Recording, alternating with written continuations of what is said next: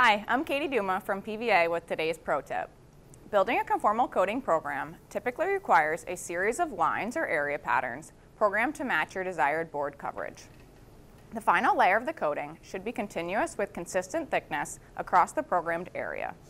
To assure your area pattern is optimized, set the spacing in PathMaster such that each pass of the spray valve features some overlap with the previous line.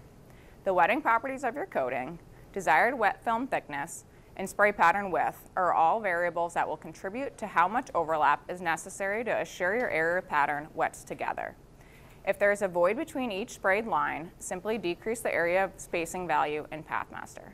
To round out your area pattern, program clean starts and stops. Set the valve on time so the coating just touches the substrate before moving. A good default starting value is a tenth of a second.